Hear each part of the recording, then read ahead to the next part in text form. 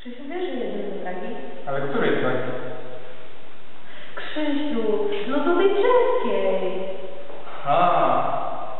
I wiesz, że tylko 250 zł? 250 zł? Tylko. Dorota w Pradze. Nie, nie byłam w wyborem. A, może chciałabym wiedzieć tam to miasto. Stolicę naszych południowych sąsiadów. A co tam jest wybrane? Nie wiem, nie słyszałaś nigdy na przykład od Karola. E, Krawczany. E, w ogóle to miasto przepiękne. Hmm, brzmi ciekawe.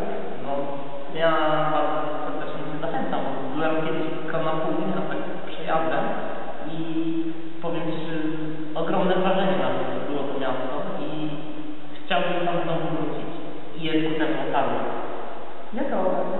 No, weekend majowy jedziemy tam razem z serca. Chciałbym to tak? A co będziecie tam robić? No ja się Zwiedzać? no, no oczywiście, że zwiedzać, ale nie tylko. To będą tam jakieś koncerty sportowe? Oczywiście, że będą. Jeśli będą chętni, a tacy się na pewno znajdą, to będzie bardzo nietypowa konferencja, to zorganizujemy gdzieś tam. Nie Jest Dawid na pewno. Zorganizujemy bieg przez Most Karola. Rewolucja. No. A co to za biegiem? Poza biegiem do drodzy powrotnej padniemy na jeden dzień do Wandierzy. Tam będą górki, będziemy z góry. Prawie jak się mają.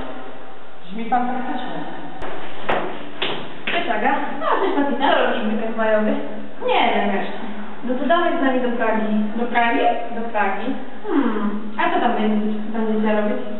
Będziemy się integrować, będziemy zwiedzać, będziemy chodzić po górach, będziemy się opalać i w ogóle będzie fajnie.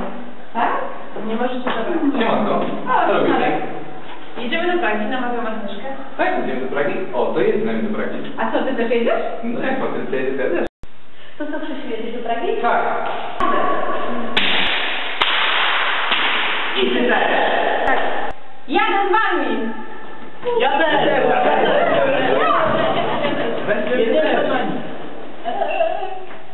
Yeah.